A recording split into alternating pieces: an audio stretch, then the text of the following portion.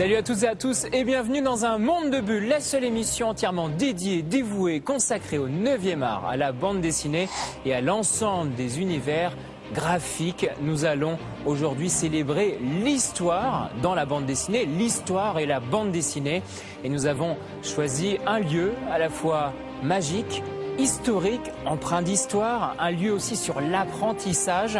C'est ce Muséum national d'histoire naturelle dans la grande galerie de l'évolution. Vous pouvez voir sur ces images des collections uniques au monde.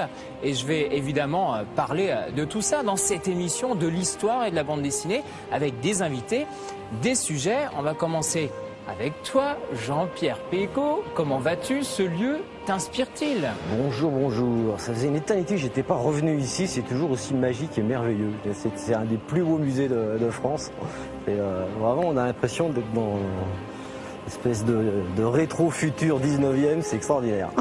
C'est un lieu un peu d'enfance et puis euh, de plaisir d'adulte, quoi. Euh, ah oui, moi j'y suis allé adulte en fait, hein. je n'y suis pas allé enfant. Mais euh, j'y suis allé plusieurs fois adulte et c'est vrai que. Mais en, accompagnant des enfants, bien sûr, c'est le prétexte. Mais, mais c'est toujours, non, toujours une grande joie d'être ici. Donc ce lieu a été rénové hein, il y a quelques années. Il est signé des architectes Paul Chénetov et Berja Huidebro et une mise en scène de René Aléo. On va le découvrir un hein, petit à petit tout au long de cette émission. Mais sans plus attendre, on va partir sur un, sujet signé Nicolas Béard. Si je te dis Montespan, tu penses à quoi? Au roman ou à cette jeune femme qui a fait tourner la tête de Louis XIV Plutôt, plutôt à la jeune femme, plutôt à la jeune femme. Mais, euh, j'ai pas, manqué effectivement de m'apercevoir qu'il y avait quelque chose qui était passé récemment dans les bacs des libraires euh, sur ce sujet. Voilà, donc Jean Telet, euh, que vous connaissez, que vous avez découvert à la télévision, il y a quelques années, euh, est devenu euh, écrivain. Il est auteur de bande dessinée euh, aussi. il a sorti un roman, Montespan, qui a énormément marché. Les éditions Delcourt l'adaptent en bande dessinée. On a rencontré évidemment Jean Telet qui nous parle de ça, Montespan. A tout de suite, ici, au Muséum national d'histoire naturelle.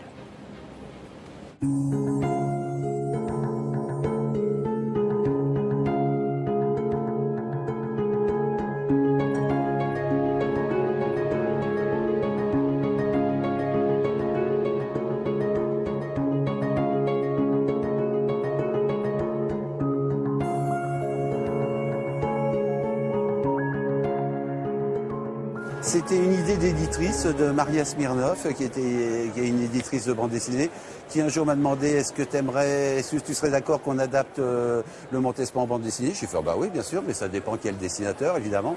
Et puis un jour elle m'a dit ah je pensais à un dessinateur, euh, je sais pas si tu vas être d'accord, euh, je pensais à Philippe Bertrand. Philippe Bertrand, mais c'est mon copain depuis 30 ans et tout.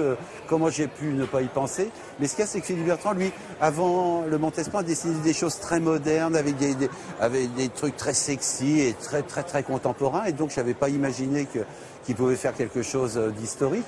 Et justement, ça arrivait pile au moment de, sa carrière où il avait envie de, de, changer de style, de faire quelque chose sur l'histoire et de dessiner euh, comme les gravures de Boss ou de Israël Sylvestre ou Callot, des trucs à la plume et comme ça. Et il était en train de lire le Montespan quand on lui a proposé. Et alors du coup, il a tout de suite dit oui. Et moi, j'étais incroyablement enchanté.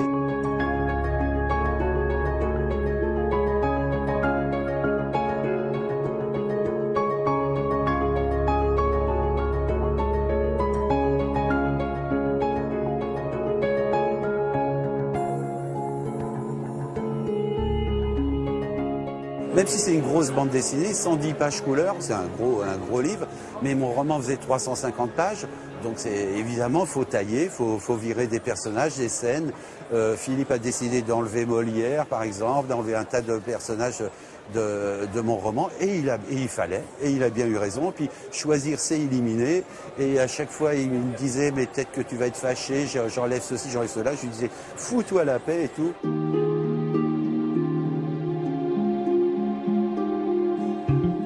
Bien avec Philippe, c'est qu'il s'est vraiment approprié le Montespan et, il en a fait. Euh, son livre est différent du mien. Le mien était beaucoup plus cru, beaucoup plus dur, beaucoup plus voyou. Lui, il en a fait quelque chose de plus doux, de, beaucoup plus charmant, de plus élégant, euh, et, le, Montespan, dès qu'on le voit, tout de suite on l'aime, il est vrai. Et la Montespan, il en a fait une bombe atomique euh, où on comprend effectivement et le Montespan et Louis XIV. Quand tu vois passer une gonzesse comme ça, tu dis c'est à moi et tu tiens et il y a quoi. Et, mais il a, il a apporté beaucoup de charme, beaucoup, beaucoup de finesse, plein de qualités qui lui ressemblent à, Philippe. Et, il s'est impliqué dans le Montespan et c'est comme ça que c'est beau.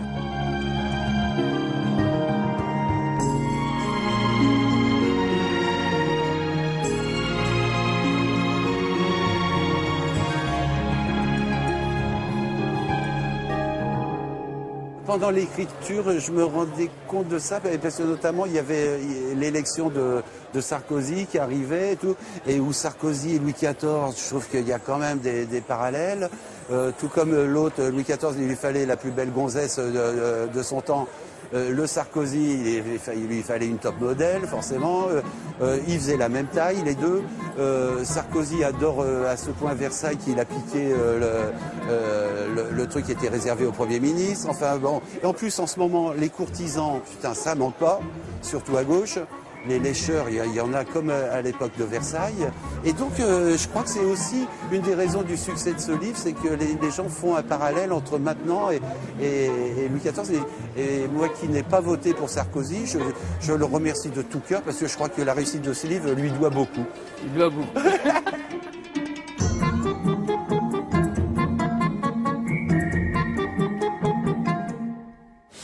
retour de la cour du Roi Soleil, on a pu découvrir l'adaptation euh, du Montespan de Jean en bande dessinée aux éditions Delcourt. On est donc ici, Jean-Pierre, dans cette grande galerie de l'évolution. Une nouvelle fois, tu euh, modifies ou tu remets l'histoire un peu à ta sauce avec Jour. C'est ta nouvelle euh, collection. Tu t'amuses une nouvelle fois tu n'aimes pas la vraie histoire, tu aimes l'adapter Ah si, au contraire, au contraire justement, c'est parce que j'adore la vraie histoire et là je ne modifie pas, j'expérimente.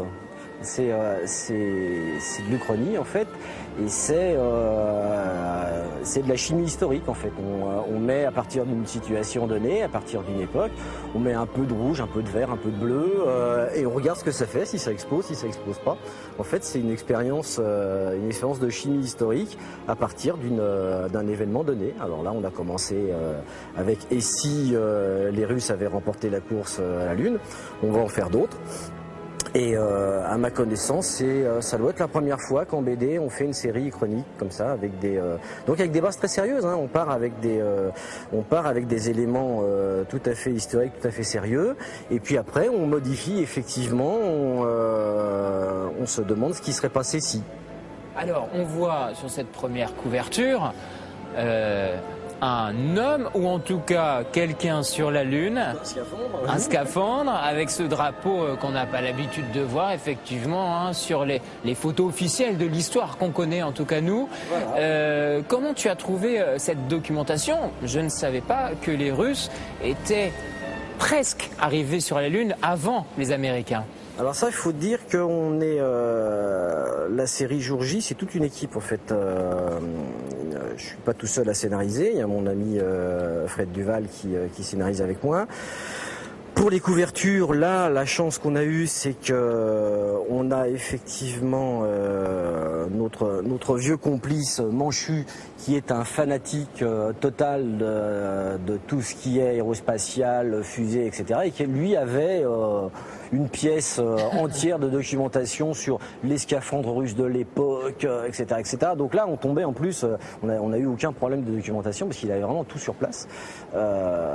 et donc, à partir de cette documentation, bah, les lectures, on s'est aperçu très rapidement que la, course à la Lune a été gagnée par les Américains de manière, la manière qu'on sait, c'était, ça s'est joué à six mois près ou à un an près en fait.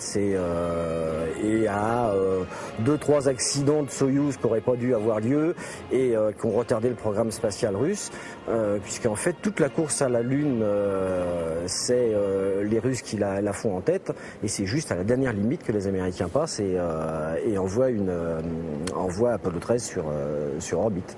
Donc à la fois tu te sers de l'histoire réelle, c'est ta base, à la fois de la documentation et puis de la base scénaristique et après tu crées toi tes propres histoires. Mais comment finalement euh, on recrée l'histoire On essaye là. Alors, il y a, plusieurs, possibilités. Il y a effectivement, je sais que dans le grand jeu par exemple ou dans l'histoire secrète où je, suis aussi sur des bases historiques, j'invente euh, une, histoire qui n'a aucun rapport avec la réalité. C'est c'est quelque chose de totalement fantasmé. C'est euh, avec loup-garou, vampires et autres et autres bestioles amusantes. Euh, là, ce qu'on avait voulu faire, c'est vraiment partir d'une base historique et la suivre complètement. C'est-à-dire que on s'est euh, on s'est euh, acharné à euh, trouver des possibilités réelles. Euh, les Russes sur la Lune, c'est une possibilité. Euh, la construction de bases lunaires dans les années 70, c'est une possibilité. Le fait que la guerre froide continue à la même époque sur Terre, c'est quasiment une évidence. Donc à partir de tous ces éléments-là, on construit une histoire, mais en se mettant des bornes, euh, des bornes très précises, de manière à ce qu'effectivement on ait une réalité alternative qui aurait pu se passer effectivement. Mais ce qui est compliqué, j'imagine, c'est d'être euh, finalement crédible. c'est ça qui sont pas. Ouais. Parce que ce qui est étonnant, c'est que cette bande dessinée, par exemple, pour un gamin, en dehors des adultes que nous sommes, mais pour un gamin qui ne connaît pas forcément l'histoire, il pourrait se dire, euh, mais c'est un fait historique finalement. Ah, si on réussit ça, c'est qu'on aura réussi au pari en fait. hein. Euh, parce que effectivement, le, pari, c'est d'avoir une histoire alternative tout à fait crédible.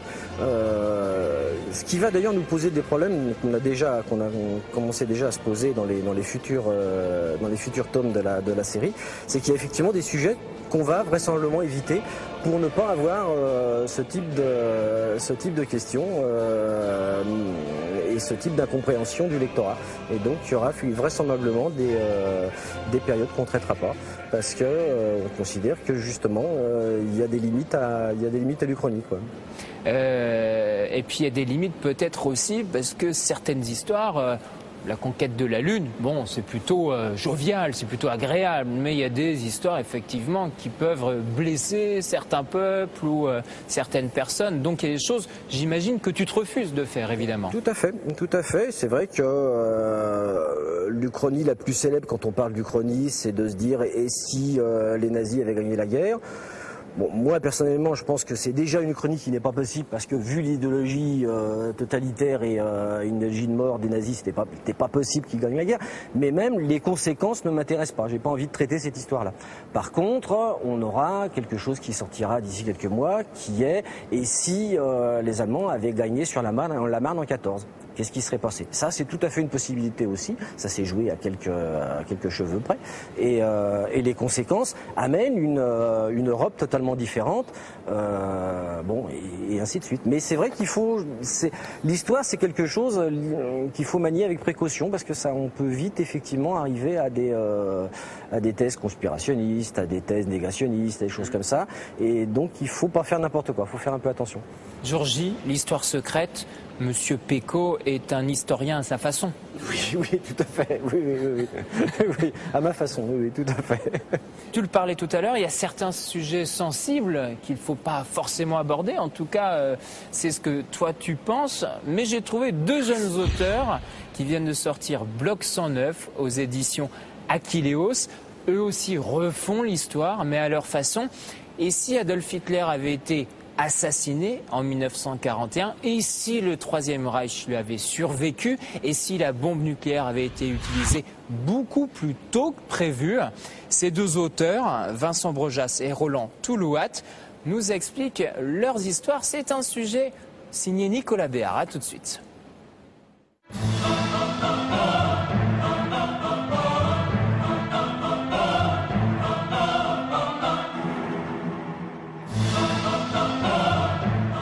Le monde alternatif de Bloc 109 sort tout droit d'un cauchemar.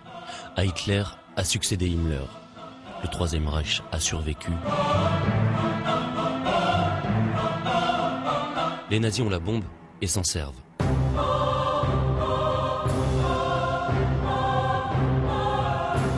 1953, le monde se divise désormais en deux blocs. L'Allemagne nazie et la Russie soviétique, deux dictatures qui se livrent depuis dix ans, une guerre sans merci. Le point de départ, c'est 41. C'est l'assassinat d'Hitler. À partir de là, tout change.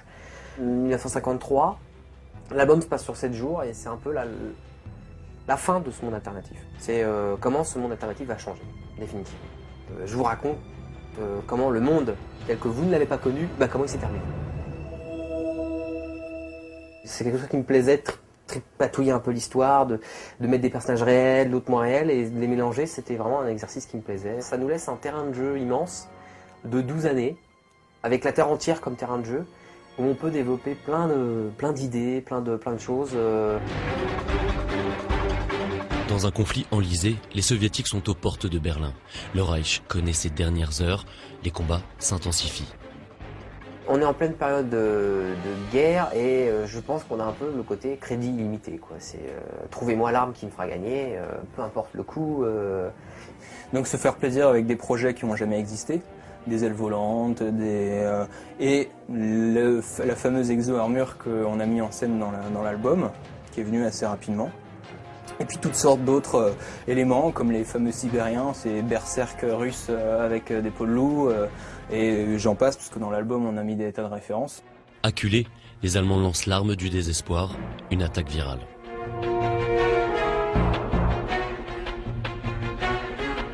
Au fil des pages, les influences de Vincent Brujas et de Ronan Toulouat se précisent.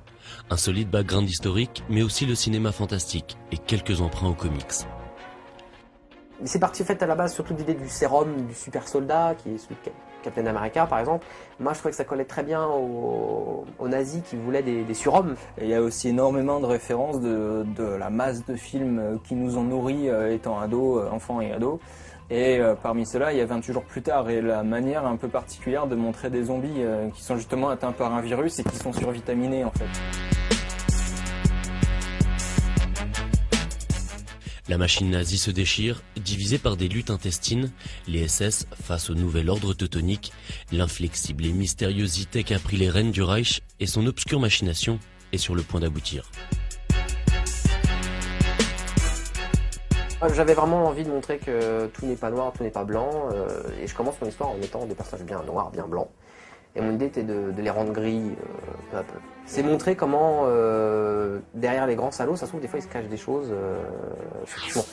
Il a ses raisons, il est au pouvoir pour certaines raisons, euh, il a, il est arrivé au pouvoir pour d'autres raisons aussi. Il a son passé, il a, qui est douloureux, et il a son plan qu'il met en place dans cet album. Et, et voilà. Et donc, et en fin de compte, c'est pas un grand méchant, pas forcément un grand méchant, c'est plus que ça.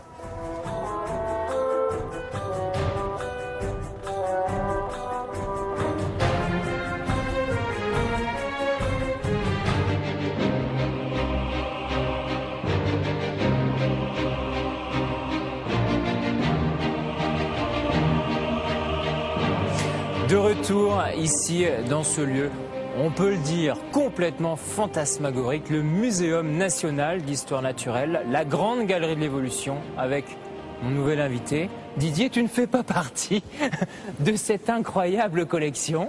Je bouge un peu encore. Voilà. c'est pour ça. C'est pour ça que je bougeais pas, mais jusqu'à présent je bouge là maintenant. Voilà, tu, es- tu es un auteur euh, qui se remet en question, c'est absolument nécessaire. C'est obligatoire. Ben, je pense qu'arrivé à un certain moment de sa carrière, euh, l'auteur est obligé de se remettre en question. Sinon, euh, il a tendance à se répéter. Et ce qu'on demande à un auteur, c'est de ne pas se répéter et cependant d'amener toujours euh, bah, sa patte, son style, son ton, sa- sa- Ses ingrédients. ses ingrédients. Alors, c'est de l'alchimie, c'est-à-dire qu'on fait à chaque fois une recette avec quasiment les mêmes ingrédients, mais on rajoute un petit peu de poudre ceci, un petit peu de poudre de cela, et on fait une nouvelle histoire. Didier, si je te dis histoire et bande dessinée, ou histoire dans la bande dessinée, j'imagine que ça te touche particulièrement. Oui, ça me touche parce que je suis arrivé à la bande dessinée euh, quand j'étais très très jeune et un lecteur du journal Tintin par l'histoire. Mes maîtres euh, s'appelaient euh, Jacques Martin avec Alix et j'avais, j'adorais ce genre d'histoire, j'adorais les histoires du Chevalier Blanc des Funken, ça me faisait rêver. Et euh, je suis aussi passé à la littérature euh, populaire avec Ivanhoé, avec toutes euh, ces, ces histoires, euh, ces aventures médiévales. Et c'est pour ça que je suis tombé dans la marmite dès que j'étais gamin. Et euh, je n'ai jamais pu envisager, en ce qui me concerne, la bande dessinée sans l'histoire. Qu'est-ce que t'apporte l'histoire? C'est à la fois, je sais pas, un ingrédient, comme on le disait, du socle scénaristique que tu développes, et en même temps, tu te permets, toi, après, de déformer de malaxer dans tous les sens l'histoire. Bah, je, je, suis un petit peu. euh, J'ai beaucoup aimé la phrase de Dumas et, et, qui disait On a le droit de violer l'histoire à condition de lui faire des beaux enfants. Alors, euh, moi, je, je, je, me régale parce que, comme j'aime l'histoire de, l'histoire de France ou même l'histoire universelle, tout simplement, euh, je sais qu'elle est tout à fait fausse. Elle est tout à fait fausse parce qu'elle est chroniquée, elle a été donc digérée par des chroniqueurs et puis en plus qui ont été des sociologues ou des politologues et qui nous ont apporté une histoire qui nous a gavés, qui nous, on, on gavé d'une histoire qui était la leur. Alors je prends cette histoire-là et je fais un voyage dans le temps, j'y apporte moi ma vision, ma vision des choses et je fais donc de l'histoire buissonnière. buissonnière, tu as bien raison. Euh, je vais citer quelques-uns, Triangle secret, Inri, euh, Vinci, euh, toutes ces séries que tu as développées euh, rentrent dans l'histoire, empruntent les chemins de l'histoire, mais surtout les coursives, les petits couloirs, ceux qu'on ne connaît pas forcément ou qui nous ont été dissimulés. Oui, parce que il y a beaucoup de choses qui sont sinon dissimulées, sinon mises sous silence. Ah, par exemple, si on prend le personnage de Vinci, que j'ai euh, traduit en deux albums avec euh, Gilles Chaillet, euh, le personnage de Vinci m'intéresse depuis que je suis gamin. Et je croyais que c'était une icône, un grand géant blond, magnifique et quasiment christique. Et quand je me suis intéressé réellement au personnage et que j'ai fouillé dans le personnage, j'ai vu un côté très sombre et très obscur dans de, son âme. J'ai vu que le personnage avait d'ailleurs été inquiété pour viol d'un mineur. J'ai vu que le personnage avait des secrets, euh, qu'il euh, était un enfant illégitime, qu'il avait fait la peinture parce qu'on ne lui avait pas permis de faire autre chose. C'est pour ça que le personnage m'a intéressé, parce que j'aime bien les personnages qui ont plusieurs facettes. Je n'aime pas les personnages lisses. Et euh, ce personnage, jusqu'à l'âge de 49 ans, était un géant. Il mesurait près de 2 mètres. Il se teignait les cheveux, s'habillait en rose, en pourpre, en blanc. Il fabriquait lui-même ses vêtements. Il jouait de la lyre.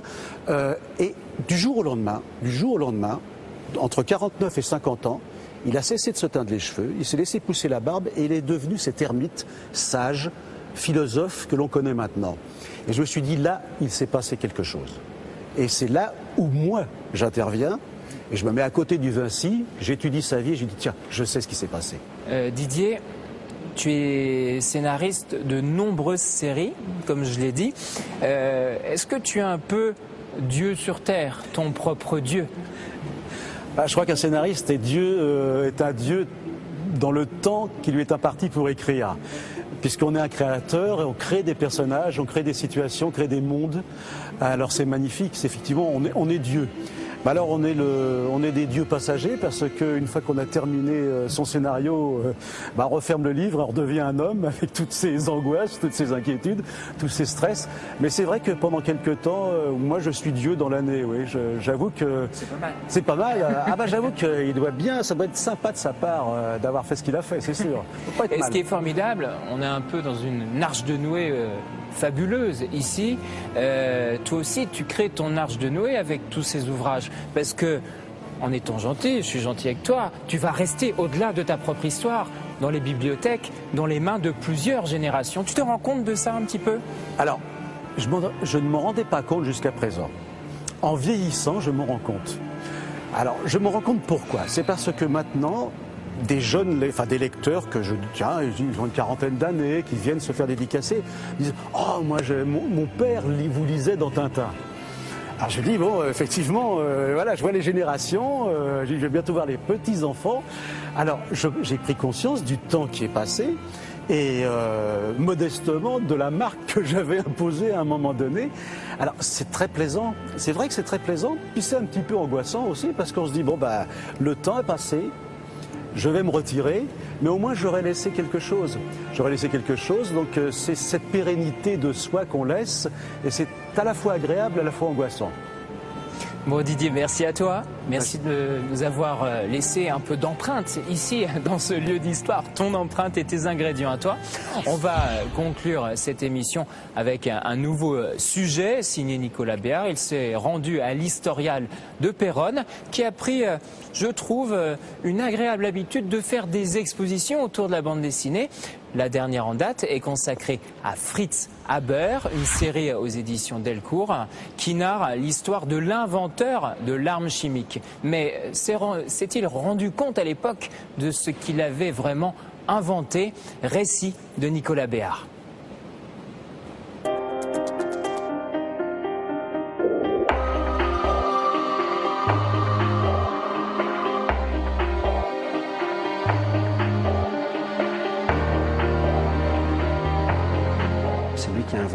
Ce qu'on a appelé le, gaz moutarde. Et donc il est le père de la guerre chimique. Il, est le premier en 1915 à employer des gaz de combat. Euh, d'abord des attaques au chlore euh, en 1915 et puis dès 1917 euh, une, formule gazée encore plus performante et plus, plus dangereuse, l'hypérite, le, gaz moutarde. Et puis après, dans les années 20, euh, il a étudié euh, un, autre gaz, un insecticide qu'il a appelé le zyklon A, B, C et D, euh, dont le fameux zyklon B a été, est connu pour être le, gaz qui a servi dans, les exterminations. Il ne comprenait pas comment tous les scientifiques du, monde entier ne voulaient pas lui serrer la main. Effectivement, c'était quelque chose qu'il, une espèce de, naïveté du personnage peut-être. Il a toujours cru que son attaque chimique euh, était une bonne chose euh, pour, euh, pour la guerre et son raisonnement était que c'était une façon de mettre une fin rapide au conflit et de sauver des vies par là même. Évidemment, il, pensait vraiment que son attaque chimique ferait plus peur que de dégâts mortels.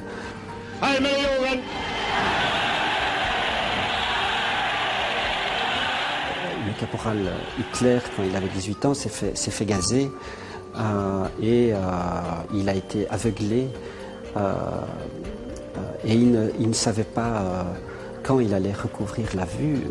et dans un de ses actes de son procès de son putsch de 1924, Hitler a eu cette phrase, il, a dit, je m'étais juré que si je recouvrais la vue, je me lancerai en politique. Donc euh, il y a une, espèce de, petite euh, théorie du chaos entre, l'invention de Haber et, l'avènement de, Hitler.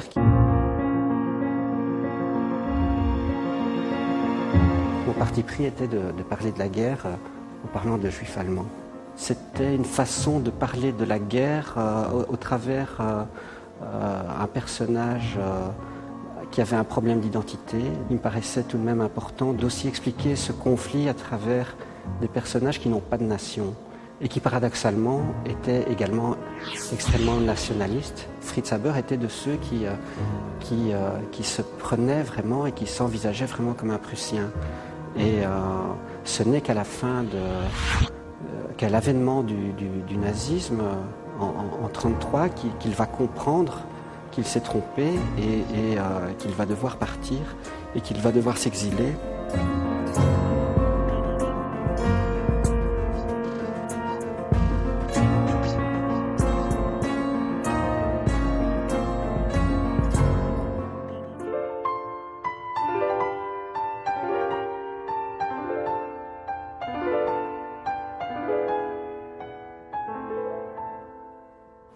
C'est la fin de cette émission d'un monde de bulles consacrée à l'histoire et à la bande dessinée. Merci de nous avoir suivis. Les rendez-vous incontournables de l'émission, c'est le site unmondedebulle.com pour toutes les infos sur le 9e art, publicsena.fr pour toutes les vidéos et les podcasts gratuits et limités. Et évidemment, tous les jeudis matins, ma chronique coup de cœur dans le quotidien métro. Je tenais à remercier personnellement toutes les équipes du Muséum national d'histoire naturelle et de cette grande galerie d'évolution de nous avoir accueillis. Ciao et à la semaine prochaine.